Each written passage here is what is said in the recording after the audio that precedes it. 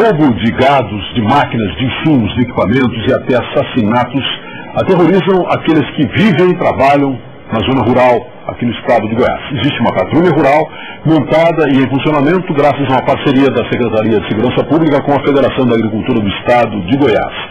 Mais coisas precisam ser feitas para dar tranquilidade para quem produz no campo. Existe até uma proposta da Federação da Agricultura de fazer um plano de proteção e segurança para o campo.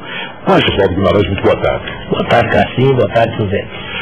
Os bandidos ficaram ousados, eles estão fugindo da cidade porque está difícil trabalhar aqui, né? Trabalhar entre aspas, por isso que estão começando a agir com mais intensidade na zona rural?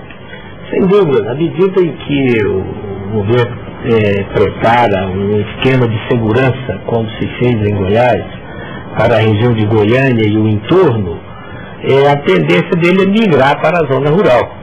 E é isso que efetivamente tem ocorrido. Ele, ele não muda o seu modus operandi.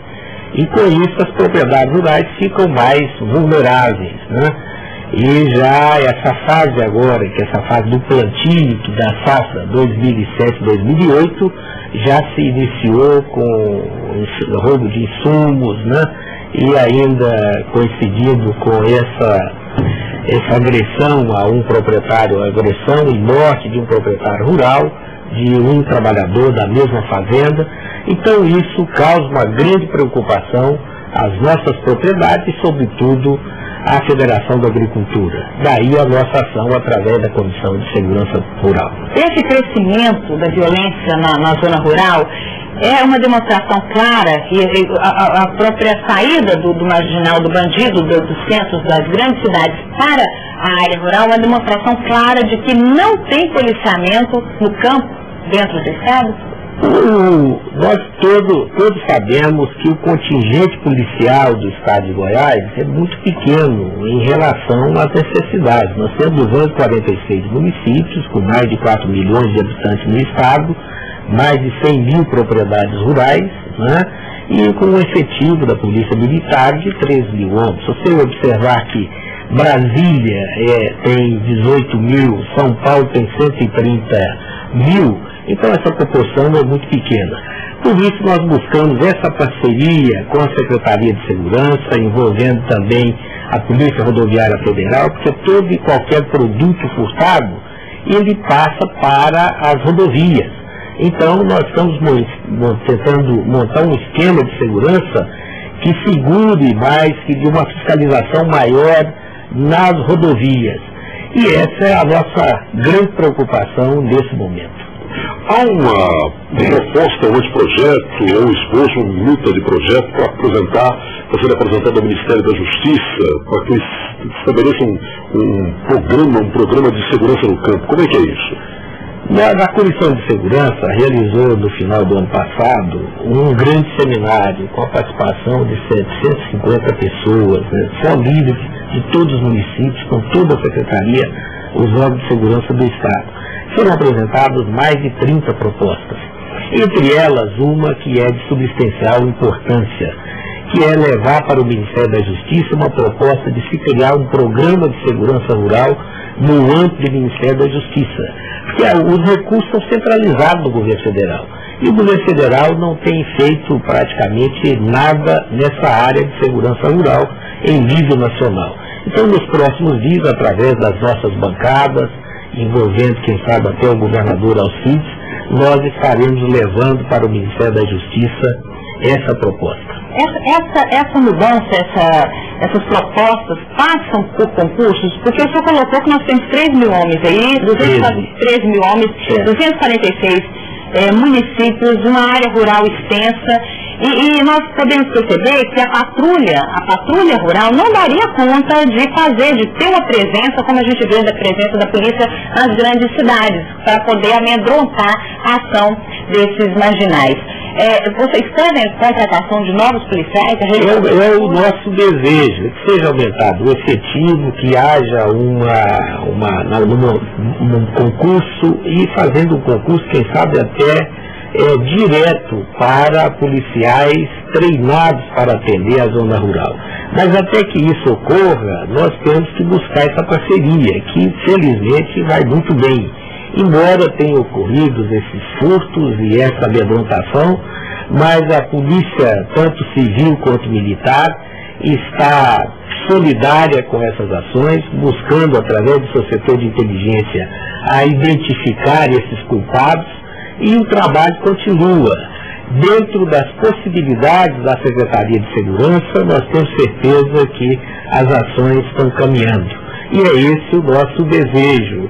E constantemente, amanhã mesmo nós temos uma reunião da Comissão de Segurança, exatamente para levantar é, uma forma de ação para que o poder civil, sobretudo ligado ao setor produtivo rural, possa oferecer como subsídio e contribuir de maneira mais direta com a polícia civil, a polícia militar e todo o esquema de segurança pública. Mas o que, que os produtores rurais, os que moram na zona rural, podem fazer é, para que eles também tenham uma segurança, não só nessa dependência de momento da, é, da, do policiamento, mas entre eles mesmo, há alguma sugestão que a Federação vai oferecer? Nós elaboramos até essa cartilha, o Cassim, que é uma, uma de orientação aos proprietários rurais, dos cuidados que eles precisam ter, bem sintetizada, com mais de quase 20 telefones de instituições de segurança, é, orientando os proprietários as precauções que ele precisa ter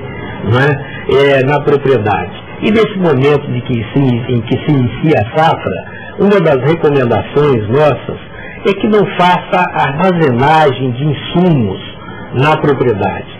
Que ele deixe esse insumo armazenado na cidade, é, em local mais seguro e que ele leve esse produto de forma gradual para poucos dias é, e que haja uma atenção maior, tanto dos proprietários quanto dos trabalhadores, né, que estejam mais alertos e que qualquer hoje, todo, toda propriedade, ela tem um telefone celular, ela tem uma comunicação e haja uma comunicação mais direta com os órgãos de segurança. Porque assim é possível, às vezes, é, é, no momento de um ataque desse, ele ser surpreendido. Quanto às patrulhas rurais, Suzete, nós é, já temos hoje a, as patrulhas estão atendendo em torno de 146 municípios no estado. Nós praticamente dobramos nesses três últimos anos a quantidade de patrulhas rurais.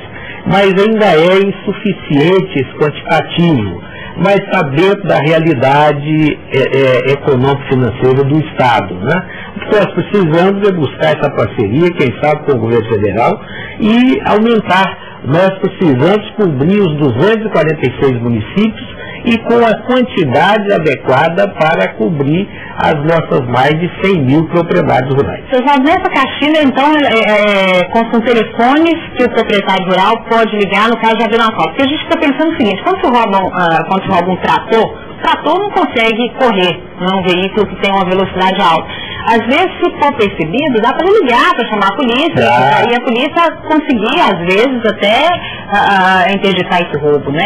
Esse trator, por exemplo, nós estamos fazendo um trabalho que é um trabalho inédito no país. Nós estamos fazendo o cadastramento de todas as máquinas agrícolas do Estado, assim, já está pronta até com sede já definida, e vamos deflagrar esse programa. Estamos aguardando apenas um agendamento com o governador.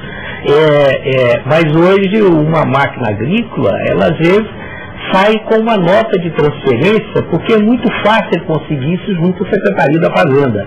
E nós estamos trabalhando com todo o, o, o sistema estadual é, e também policial, no sentido de dificultar essas ações. Mas precisamos e muito da participação ativa e gostaria de fazer aqui também uma recomendação aos nossos proprietários rurais, aos nossos trabalhadores rurais. Toda e qualquer é, ação policial, na, ação de marginais na propriedade, é, que venha subtrair qualquer objeto, que seja feita a ocorrência policial Hoje nós temos em todos os municípios, nós temos policiais e, e uma delegacia, para que facilite isso sirva como estatística adequada até para mostrar esses procedimentos tão necessários e indispensáveis. Nós temos que sair do informalismo e é preciso que haja uma ação integrada.